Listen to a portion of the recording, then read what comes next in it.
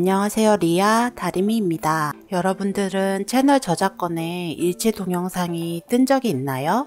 우선 다른 사람이 내 동영상에 저작권 침해 신고를 했는지 한번 알아보겠습니다. 저는 신청곡을 받아서 노래를 부르기 때문에 이렇게 가끔씩 저작권 침해 신고가 들어와요. 수익 창출을 하지 못하게 하는 저작권자도 있고 이렇게 수익을 공유하자는 저작권자도 있습니다. 무조건 수익을 공유하는 게 아니고 그 구간을 이렇게 삭제하시거나 음소거를 할 수 있는데요. 노래만 음소거가 되는 거는 안 될 때가 더 많더라고요. 노래를 바꿀 때는 유튜브 음악으로 바꿀 수가 있는데요. 이렇게 보면은 이거는 길이가 맞지가 않잖아요. 그래서 이제 길이에 맞는 음악을 찾아서 덮어주는 겁니다. 유튜브 음악 목록에서 미리 들으셔도 되고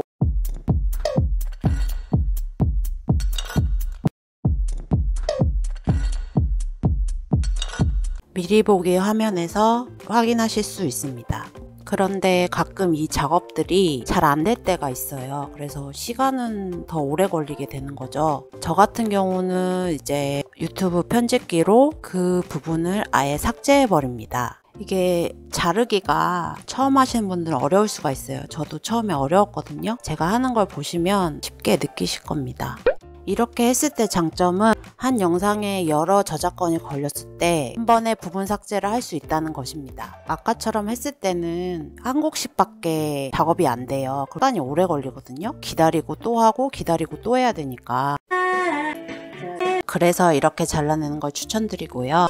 일부는 수익 공유를 하고 있습니다. 수익이 너무 안 나서 시간이 흐르고 그 부분을 삭제를 했어요. 그런데 계속 수익 공유가 되는 거예요. 다리미는 어떻게 했을까요? 궁금하신 분들은 영상을 끝까지 봐주시기 바랍니다. 저는 최근에 협찬을 받아서 이렇게 일치 동영상이 뜨거든요. 이거를 신고를 하면 안 되잖아요. 그래서 이거를 어떻게 하는지 지금 알려드릴게요. 이제 보관 처 리를 해주시면 되는데요. 일치 동영상에 있었던 영상들은 다 사라지고 보관 항목에 그 영상들이 들어있고 언제든지 마음이 바뀌면 수정할 수 있습니다.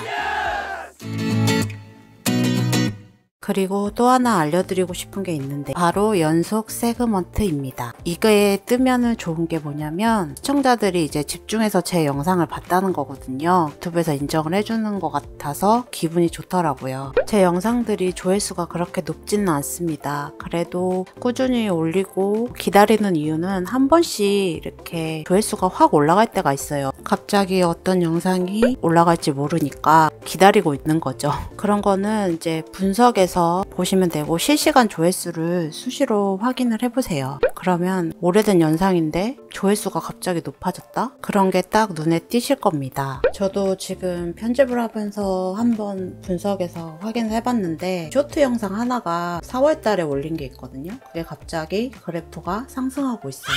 제가 실험으로 쇼트 영상을 최근에 많이 올려봤는데요. 조회수가 잘 나오지 않더라고요. 그랬는데 유튜브가 노출을 시켜줘서 사람들이 조회를 하고 그래서 조회수가 갑자기 올라가게 되더라고요. 쇼트 영상이라서 그렇게 수익은 많지 않지만 그래도 조회수가 많아지면 많아질수록 아무래도 조금이라도 더 날 수밖에 없죠.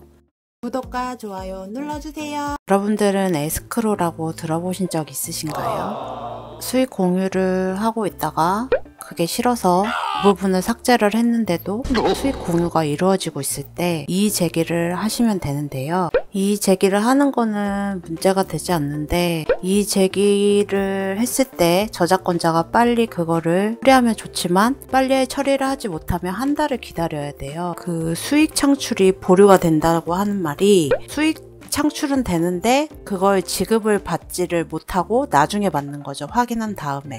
이의제기 하는 거는 정말 간단합니다. 그런데 처음 했을 때는 내가 뭘 잘못하는 건 아닌가 하는 두려움이 있어서 저도 조심스러웠습니다. 그 부분을 삭제를 했는데도 수익 공유가 되고 있어서 용기 내서 한번 이의 제기를 해봤습니다.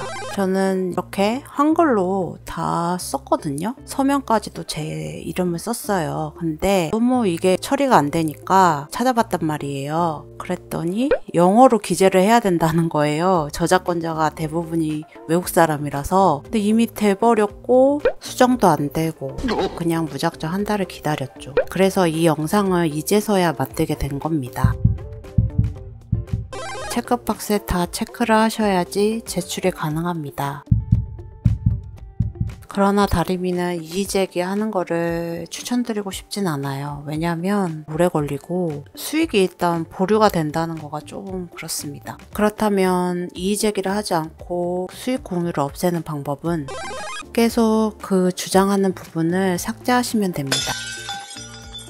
나는 그 부분을 절대 못 주겠다 하시면은 이의제기를 하시면 되는데 저작권자가 이의제기를 거부하면 다시 수익 공유가 됩니다. 그래서 음소거나 유튜브 음악을 바꾸거나 구간 자르기를 클릭해도 도구를 열 수 없다고 떠서 당황스러웠습니다. 그래서 다시 보니까 맨 아래에 항소라는 게 있더라고요.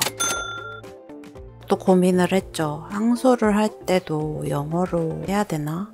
그러면 이거가 너무 복잡한데? 라고. 어차피 뭐 애드센스에서 가져오면 되니까요, 정보는. 그보다 항소라는 말이 너무 겁이 나서 혹시나 채널이 날라갈까봐 차마 못하겠더라고요. 이의제기 한 것 중에서는 한글로 써서 된 것도 있고 안 된 것도 있어요. 안 된 거는 편집계에 가서 수익 공유되는 부분을 솔직히 저작권 걸리지도 않았지만 그 부분을 삭제를 했습니다.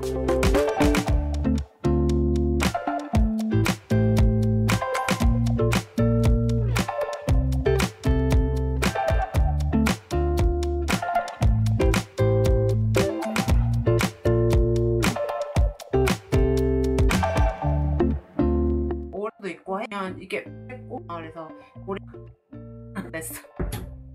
이때 남자친구 제 제일 좋아하는 남. 또라들은 그냥 그 입 피곤해가지고 나 방해꾼 왔네 방해꾼 왔어. 아 진짜. 내가 왜 안 와? 엄마 미야 아 있으면 내가 쉬어 나 어, 뭐, 맞아요. 욕심을 내가지고 노래 꺼주시. 그 커피 한 잔 타고 타고 싶으신 분 타시면 되고요. 물 한 잔 드실 분 물 한잔 어, 드시면 되고요. 알맵지? 왜 그때 결혼이 하고 싶지 않았을까요? 나 이거 잘 불러서 저작권 걸릴 것 같은데?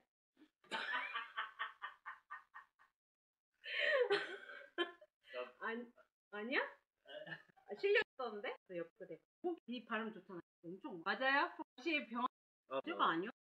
야, 맨날 안할것 같아요. 정말 놈해. 뭐라고? 식기예요.